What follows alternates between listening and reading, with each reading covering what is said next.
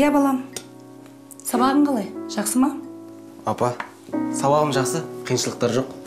Дұрыс болған екен балам. Сабағыңды жақсы оқы. Анашым өзім үшін оқымасам да сіз үшін оқимын ғой. Жоқ алтыным. Мен үшін оқыма өзің үшін оқы. Білімді дарынды азамат болып өсуіңе мен тілектеспін алтыным. Әрине анашым. Ербол қайда? Көрмейді ол.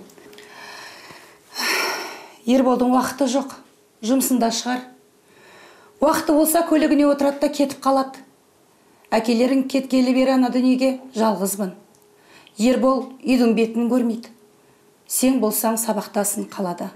Анашым кішкене шыдаңызшы мен сізді өз қолыма аламын. Ешқашан жалғыз алдым демеңіз біз бармыз. Ей алтыным сол. Жарығым ай сендерді әкелерің екеуміз қағып мәпелеп өсіріп едік. Аяқ астынан әкелерің ана дүниеге кетіп қалды. Қызықтарыңды көрем деп жүреді. Енді сендердің қызықтарыңды мен көретін шығармын. Апа әкемді мен де сағынып жүрмін. Сіз әлі жүз жасайсыз. Немере шөбереңіздің қызығын көресіз. Айтқаның келсін айтқаның келсін құлыным. Шайыңды іше ғой. Жандағы қыз сүйкімді екен құрбысы иә сүйкімді кешіресің. Алло.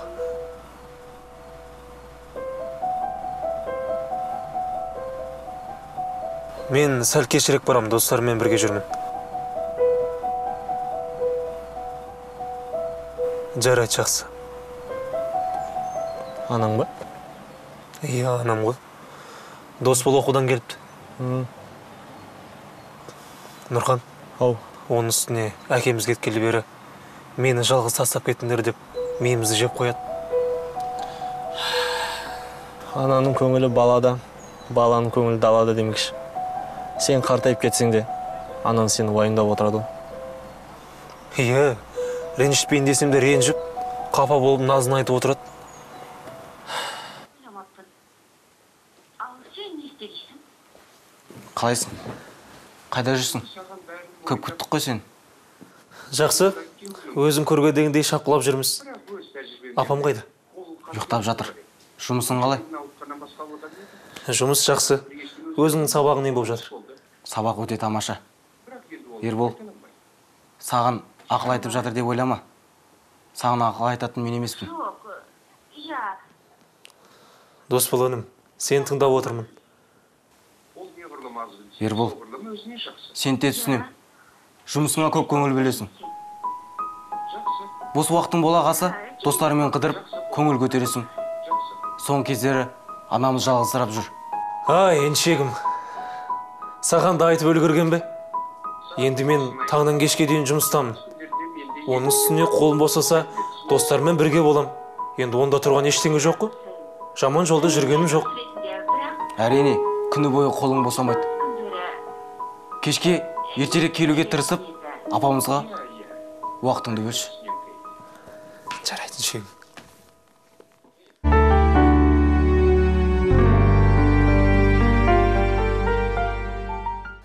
орта жастағы адамға жынысына қарамастан жарынан айырылу оңайға соқпайды. Жоғалту болғаннан кейін адам күйзеліске ұшырап жақындарынан шектен тыс назарды талап етіп мазасызданады. Олардың тағы бір қорқынышы жарынан айырылған соң балаларынан айырылып немесе оларға керексіз болып қаламын ба деген ойы. Әрине қиын жағдай. Дегенмен оларға аса мейірімділікпен барынша көңіл бөлу керек. Әсіресе балалары. Дегенмен бұл мәселенің екінші жағы бар. Күйзелісте жүрген адам тез ренжігіш сонымен қатар ештеңеге көңілі толмай шектен тыс талап қойғыш келеді. Жақын адамынан айырылған соң басқаларды жегідей жеп мазалауы да мүмкін. Ал туыстарына бұндайды көтеру оңайға соқпайды. Алайда жақыныңыз үшін барынша көмегіңіз бен мейіріміңізді аямаңыз. О ассалаумағалейкум о қалайсың нұрхан? Жақсы. Өзің қалайсың? Көрмей кеттің ғой. Жақсы бір қалып жүріп жатырмыз. Е бүгін кешке дос балалармен жиналайын деп едік. Сен де кел. Бәріміз бірге кешке отырып. Нұрхан мен бара алмаймын ренжімеші. Неге? Анама ертерек келемін деп уәде берген едім қойшы болды. Үнемі осы. Өткенде келем деп келмедің бір рет емес бірнеше рет. Осы жолы келмейтін болсаң ренжиміз. Нұрхан болды енді тоқташы. Қазір менің бүкіл мінімді жіпке тізіп бересің. Жарайды мен өз көлігіммен барам. Айтпақшы мен бүгін ішімдік ішпеймін. Әрине өткендегі жағдайдан кейін. Өткендегі жағдайдан кейін құдай сақтап қалып. Сәл болмағанда жол апатына ұшырар едік. Е, е жарайды жақсы. Хабарлама арқылы мекен жай жазып жүрмін ғой кешке келетін бол.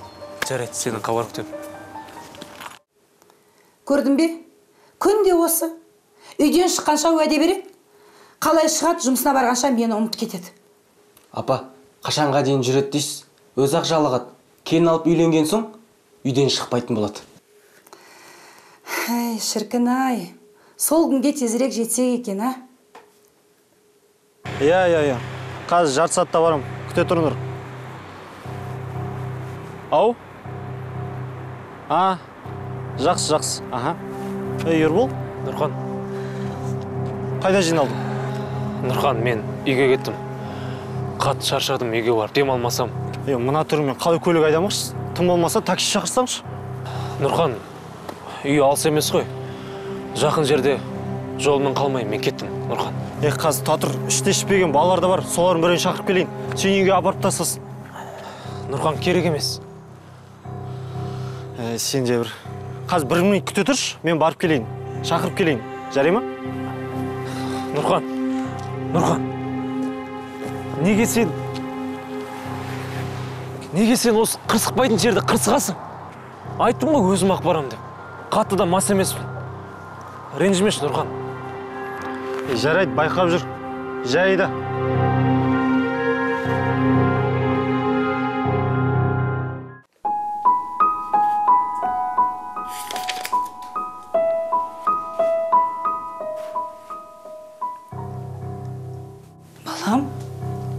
не болған? Түрің боп боз боп кетіпті ғой. Кәне кел отыр. Отыра ғой не болды балам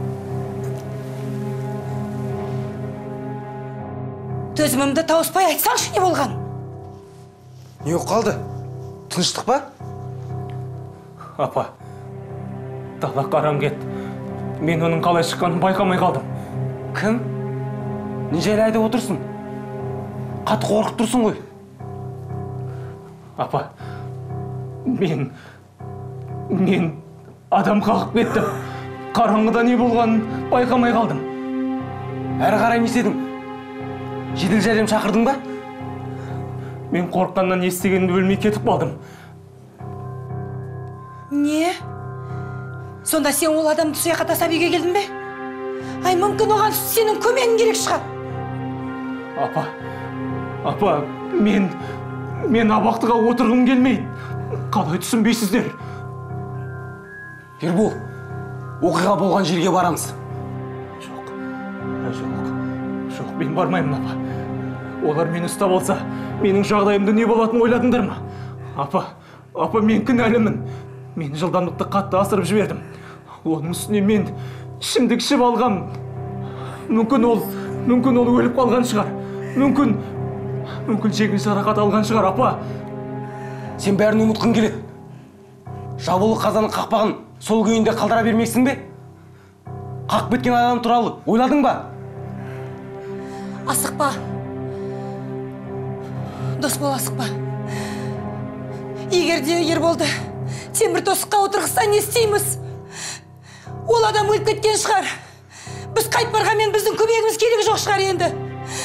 Жақында әкелерінен айырылып едім Апа. енді ұлымды жібергім келмейді апа ол адам қағып кетті қол қусырып отыра алмаймыз апа дос бол мен қағам деп қақпадым ол оқыстан болған оқиға апа ербол тұр оқиға болған жерге барамыз бармасаң мен өзім полицияға бәрін хабарлап айтып беремін тұр орнынан жүр барамыз жүр ербол Ербол балам. Ербол. Құдайым ай.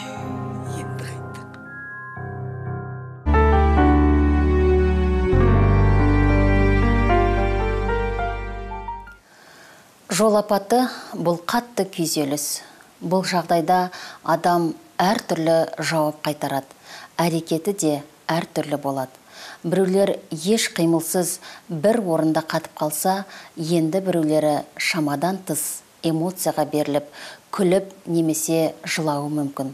Біреулері қорғаныс реакциясы ретінде күйзеліс алған жерінен қашып кетуі мүмкін. Қашып кеткен адамның ойында осы мәселеден аулақ болсам қашып кетсем барлық мәселені де шешермін деген жалған алдамшы ой тұрады. Қолыңмен істегенді мойныңмен көтер. Қандай жағдай болмасын жасаған әрекетіңіз үшін жауап беруіңіз қажет.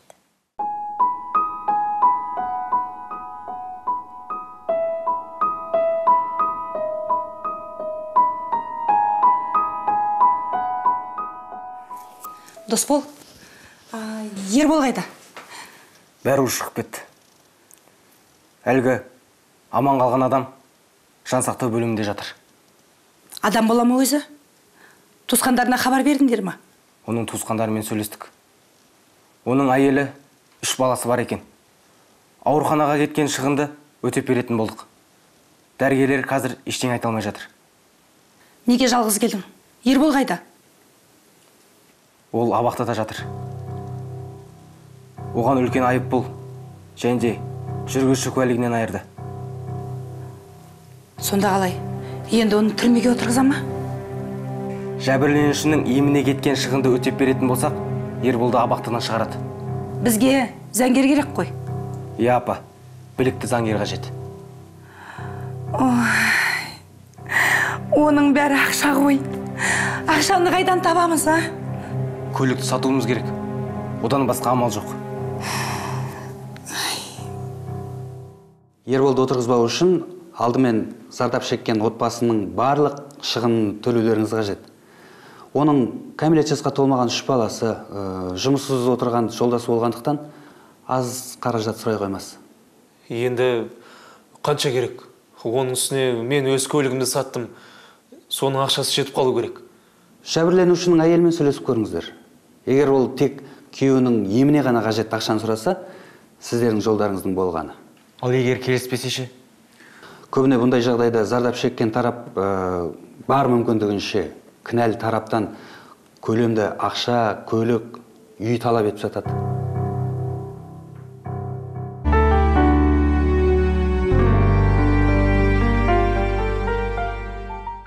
өзін кінәлі сезінетін адам психологиялық қорғаныс механизмдерін қосып өзі зиян келтірген адамдардан қашуы мүмкін.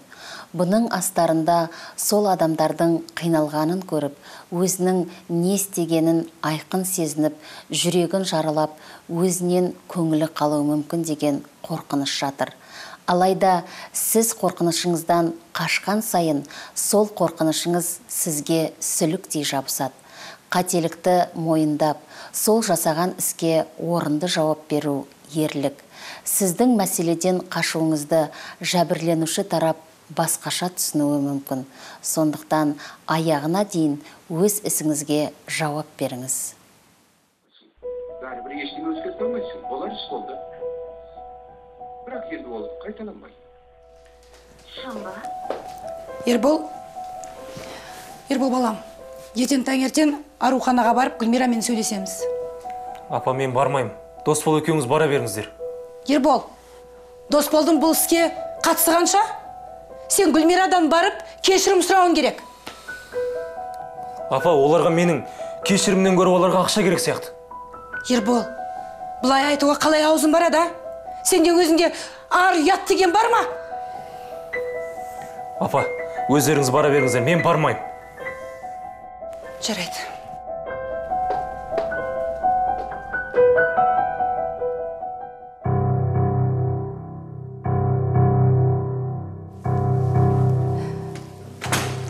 Сәлеметсіз ба саламатсыз ба қалайсыздар? Сәлеметпіз науқастың қал жағдайы қалай? Беті бері қарайын деді ма? Ешқандай өзгеріссіз. Әлі есінде жиған жоқ. Осылай болғанына біз қатты қамығып тұрмыз. Өкініш өкінішті ақ гүлмира. Бірақ жолдасыңыз аяққа нақ тұрып кеткенше біз қаражатпен көмектесеміз. Уайымдамаңыз. Сіздің ойыңызша сол қаражат жеткілікті деп ойлайсыз ба? Менің басымда бір емес үш кредитім бар үш балам бар.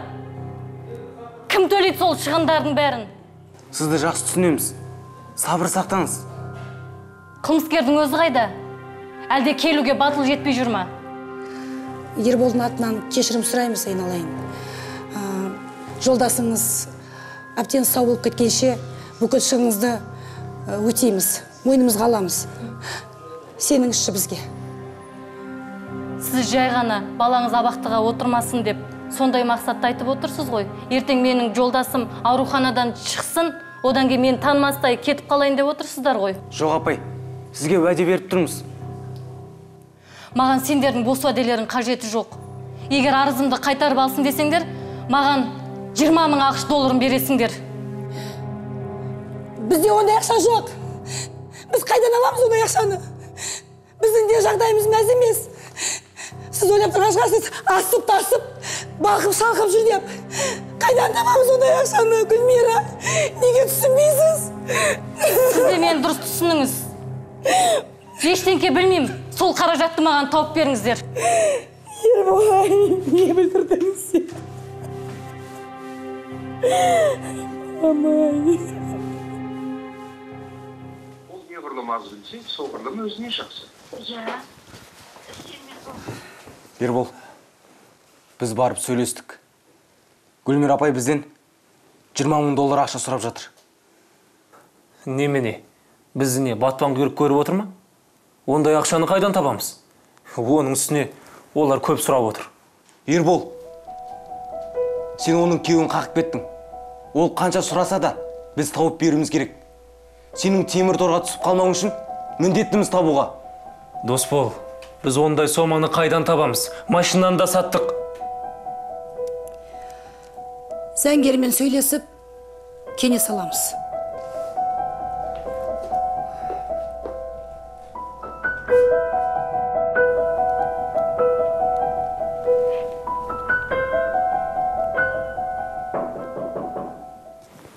Кіріңіз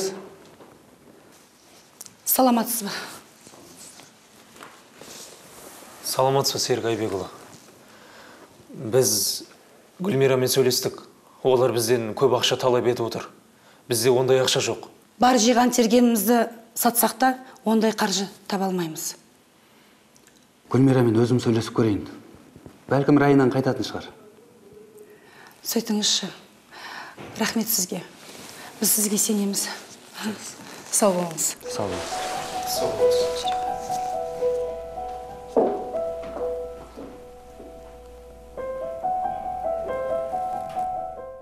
гүлмира жолдасыңыздың жағдайы қалай? Денсаулығы жақсы ма? Әзірше ешқандай өзгеріс жоқ. Мен сізбен ерболдың отбасы жайында әңгімелесуге келген едім.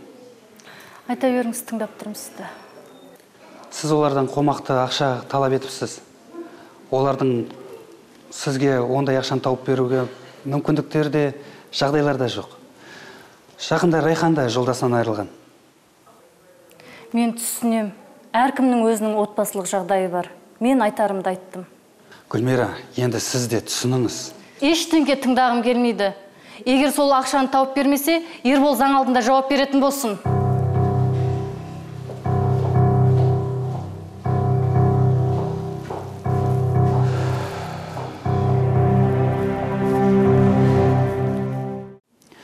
Гүлмирамен сөйлестім келіспеді тауып беруге тура келеді.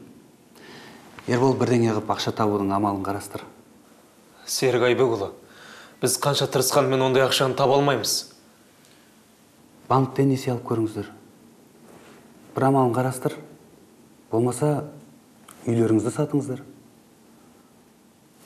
Ербол не болса да несие алайық. Әйтеуір бірдеңке қылып төлерміз. Жүре ғой. Жақсы сау болыңыз.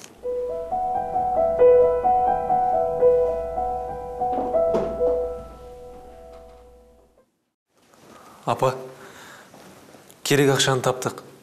Енді уайымдамаңызшы.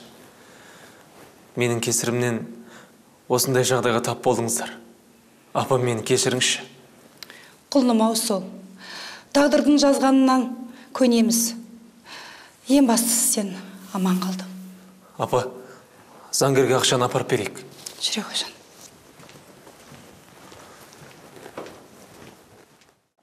Ақша таптыңыздар ма? Иә таптық. Серік айбекұлы үйді кепілге қойып несие алдық? Ақша қалай тапқандарыңызда менің шаруам жоқ. Ең бастысы мына істі сәтті аяқтау. Зардап шегушінің сұрағанын әкелдіңіздер ғой? Иә. Гүлмираның сұраған ақшасын әкеліп отырмыз. Мхм. Ең бастысы зардап шегуші тараппен келістіңіздер. Көп ақша сұраса да шешімін таптық. Серік айбекұлы енді қалай болады екен? Сұраған берген соң ешқандай қиындықтар болмайды деп ойлаймын. Керемет болды жақсы болды өте жақсы. Жақсы. Ербол сен ауруханаға бардың ба? Әлгі кісінің жағдайы қалай екен? Апа мен барып үлгермедім. Мен хабарласып дәрігермен сөйлестім. Ол әлі есін жимаған екен. Ауыр халде жатыр.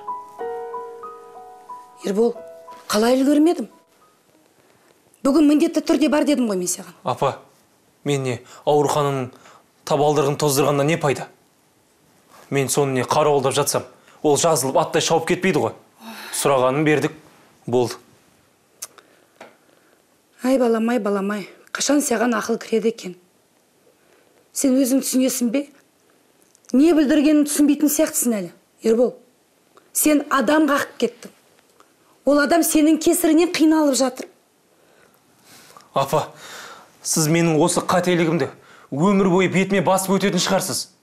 Көлікті де үйді де кепілге қоймай ақ жазамды түрмеде өтеуім керек еді.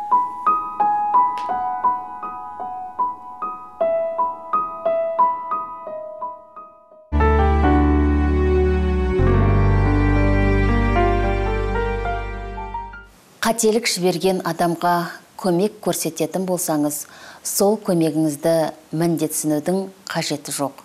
Көмек беру барысында екі жақты келісімге келіп ол енді бұндай қателік жасамайтынына ал сіз берген көмегіңізді міндетсінбейтініңізге уәде беріп соған орай әрекет етулеріңіз керек. Балам ақырындап жолға дайындал. Жақында сабағың басталады. Жоқ апа. Біраз уақыт үйде болам сабағыңнан қалма. Бәрі жаймендеп орнына келе жатыр ғой. Әлде сен мені? Анашым бір екі аптаға сұрандым. Сізді осындай қиын сәтте жалғыз қалдырғым келмейді. Үйде болғым келеді. Ботақаным сол.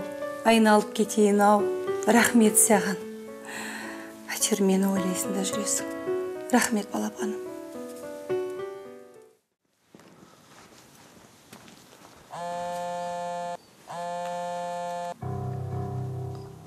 Алло. Серік айбекұлы. Жарайды жарайды.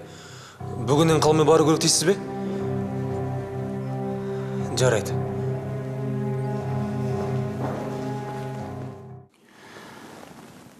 Ербол жағдай қиындап кетті. Сонда қалай? Түсінбедім сен қаққан адам қайтыс болыпты. Енді заң бойынша жазаға тартыласың. Жоқ. Серік айбекұлы біз сұрағанын беріп едік қой.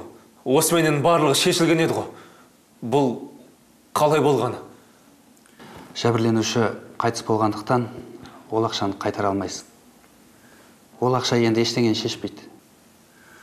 Саған үкім шығарылып сен сотталасың.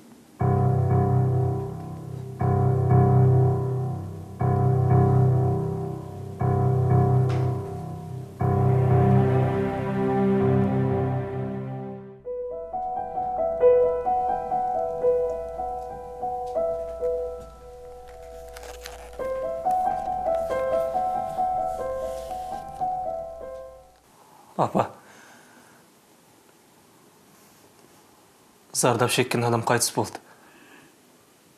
Мен енді сотталам. Мен енді заң алдында жауап берем. Енді не болмақ? Не істейміз? Апа біздің еш мүмкіндігіміз қалмады.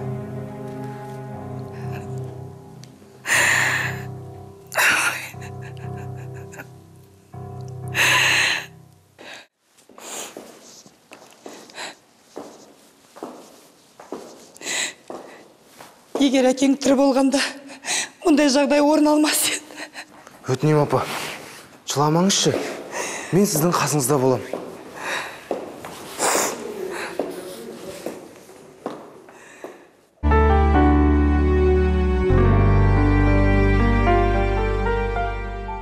өкінішке орай жауапкершіліксіз жасалған істің соңы жақын адамдардың өміріне зардабы тимей қоймайды.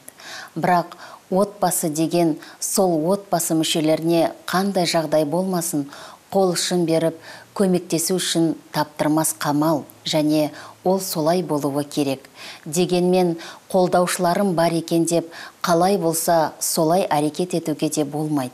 Өмірде кейіпкерлеріміздің жағдайына тап болып жатқандар аз емес. Ойланыңыз. Сіздің жауапсыз ісіңіз үшін жақындарыңыз зардап шегіп жауап беруі міндетті емес. Банктен хабарласты. Тағы да несие төлейтін уақыты өтіп кетіпті. Не істейміз?